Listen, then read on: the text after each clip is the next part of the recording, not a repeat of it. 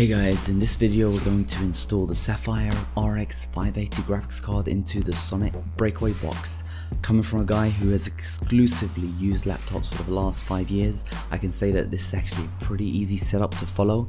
So if you're looking to get into eGPUs, do not fret. First up, unscrew the case thumb screws. Next is actually the hardest part of the installation. You need to take off the case which requires a bit of pulling and lifting. My case was stuck in on the right side, so it took a good few attempts of fiddling to get it off.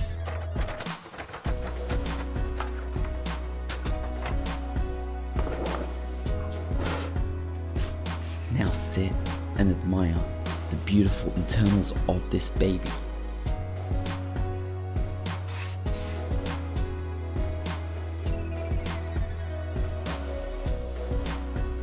Take out the included cable management and spare screws. Unscrew the expansion slot cover plates. Move the power cable over to the side,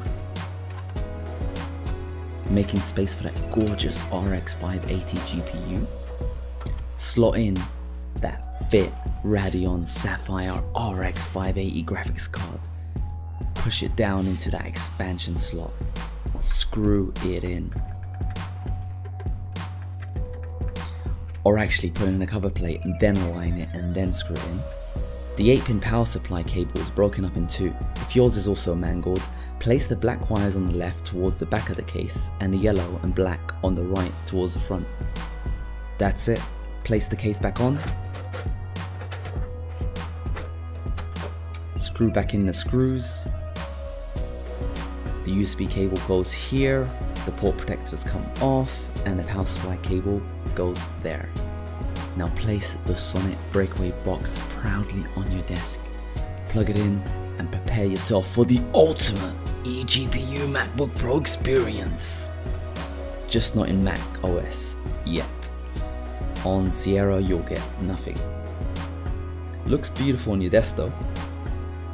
Check the videos in the description below to see videos on how to set up your Mac safely on the macOS High Sierra Beta and the current performance tests of this beast.